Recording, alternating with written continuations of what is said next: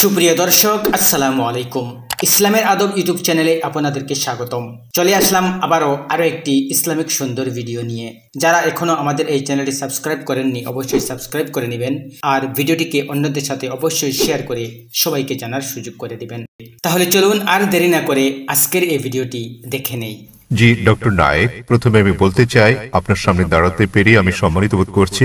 Piece টিভিতে আপনার অনুষ্ঠান অনেক দেখেছি এবং আমি মনে করি প্রকৃত আপনার নাম জানতে পারি? আমার নাম মহেশ উর্সেকার এবং আমি মুম্বাই বিশ্ববিদ্যালয়ের দর্শন বিভাগে পিএইচডির ছাত্র। আমার প্রশ্নটি কিছুটা টেকনিক্যাল আমি জানতে চাই ইসলাম ধর্মে আত্মার ধারণাটি কি? আপনি জানেন ভারতীয় দর্শনে আত্মা ও মনকে আলাদা ধরা হয়েছে অথচ পাশ্চাত্য দর্শনে আত্মা ও মনকে অভিন্ন বিবেচনা করা হয়। তাই আমার প্রথম প্রশ্ন হচ্ছে ইসলামে আত্মার ধারণাটি কি? এবং দ্বিতীয় প্রশ্নটি হচ্ছে, দেহের সঙ্গে আত্মার সম্পর্ক কি? আপনার জানার মতে, মৃত্যুর পর আত্মা দেহ ত্যাগ করে কিনা? এবং আপনার জানা এ জাতীয় অন্যান্য তথ্য? তাহলে এটি একটি দুই অংশ বিশিষ্ট প্রশ্ন। আত্মার ধারণাটি কি? দেহের সঙ্গে আত্মার সম্পর্ক এবং মৃত্যুর পর আত্মার কি হয়? ধন্যবাদ। ভাই মহেশ প্রশ্ন করলেন যে আত্মার ধারণাটি কি ইসলামে এবং সম্পর্কটা কি আত্মা ও মানব দেহের মধ্যে এবং মৃত্যুর পর আত্মার কি হবে? এটাই মূল প্রশ্ন। ঠিক তাই। যতদূর পর্যন্ত আত্মার সংশ্লিষ্টতা রয়েছে তাতে আত্মা হচ্ছে মানব দেহের নির্যাস। আল্লাহ তালার অন্যান্য সৃষ্টির তুলনায় মূল গুরুত্বপূর্ণ বিষয় এটা সর্বশক্তিমান ঈশ্বরের সৃষ্টি। মানুষের সঙ্গে তাদের বড় ধরনের পার্থক্য হচ্ছে এই আত্মা। এবং এটাই হচ্ছে সারাংশ। যা একজন ব্যক্তির মৃত্যুর পরও থেকে যাবে, পরে এটা আলোচনা করব। বিজ্ঞানের যতটুকু সংশ্লিষ্টতা রয়েছে, তাতে বিজ্ঞান আত্মা নিয়ে কথা বলে না। এখনও বিজ্ঞান সে পর্যায়ে পৌঁছেনি, যে পর্যায়ে পৌঁছলে আত্মার অন্তঃসার রহস্য উদ্ঘাটন করা যায়। তবে গবেষণা করা হয়েছে, যখন কোনো জীব মারা যায়, উদাহরণস্বরূপ মানুষের সঙ্গে তুলনা করলে, যখন একটি প্রাণী মারা যায়, মৃত্যুর পরক্ষণেই সেটির ওজনের কোনো তারতম্য ঘটে না।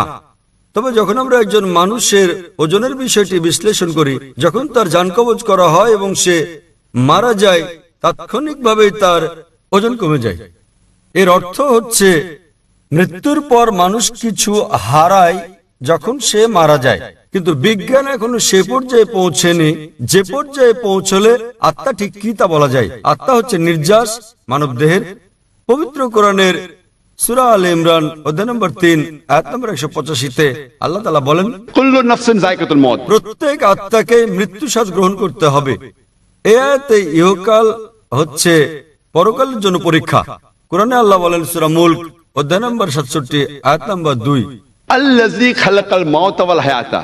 অর্থাৎ আল্লাহ জীবন ও মৃত্যুকে সৃষ্টি করেছেন তোমাদের মধ্যে কর্মে কে উত্তম তা জানতে। তাই এই পার্থিব জীবন পরকালের জন্য পরীক্ষা এবং প্রত্যেক আত্মাকে মৃত্যুর স্বাদ নিতে হবে। একজন মানুষ মারা গেলে তার আত্মা দেহের মধ্যে থাকে না। কিন্তু বিচার দিবসে যখন তাকে পুনরুত্থিত করা হবে, তখন তার করা নেক কাজ ও পাপ কাজের উপর ভিত্তি করে বিচার দিবসে সর্বশক্তিমান ঈশ্বর, তিনি মালিক ইয়মিদ্দিন অর্থাৎ তিনি বিচার দিবসের মালিক। দুনিয়ার জীবনে আপনি যেমন কাজ করেছেন, তার উপর ভিত্তি করে সেদিন আপনার জন্য নির্ধারণ করা হবে। আপনি বেহেস্তে না দুজখে যাবেন। সুতরাং আত্মা জীবিত থাকে, আত্মা মরে না। এটি কেবল মৃত্যুর স্বাদ গ্রহণ করে। যখন কোনো মানুষের দেহ মারা যায়, যখন দেহ প্রাণের সঙ্গে থাকে, তখন সে মানুষ। তবে পরকালে সম্পূর্ণ নতুন একটা দেহ দেওয়া হবে। এবং আত্মা বেঁচে থাকবে এবং তখন এই জীবনের পরীক্ষার ফলাফলের উপর ভিত্তি করে বেশ দুযোগ দেওয়া হবে। আশা করি উত্তরটা আপনি পেয়েছেন। আত্মা আর মন কি অনুরূপ?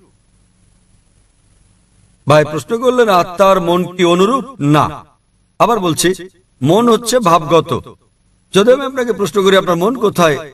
আপনারা জানেন তখন লোকেরা বলবে মনের অবস্থান মস্তিষ্কে। সুতরাং এটা একটা গুণবাচক শব্দ। যেমন আমরা যখন বলি নিজের কাজে মন দাও। তো মনে রাখার কথা বললে লোকেরা মস্তিষ্ক খাটিয়ে ভাবতে শুরু করে। কিন্তু এর অর্থ এই নয় যে মন মস্তিষ্কের মধ্যে রয়েছে, বরং এটা ভিন্ন কিছু। তাহলে আবারও প্রমাণিত হলো যে মন একটা গুণবাচক শব্দ। আমি জানি না মনকে কোথাও স্থাপন করা হয়েছে কিনা। যখন আমরা মন সম্পর্কে কথা বলি, সাধারণত মস্তিষ্ক সম্পর্কে ভাবি। কিন্তু সেটা একটা গুণবাচক শব্দ। আশা করি উত্তরটা পেয়েছেন। আপনাকে ধন্যবাদ।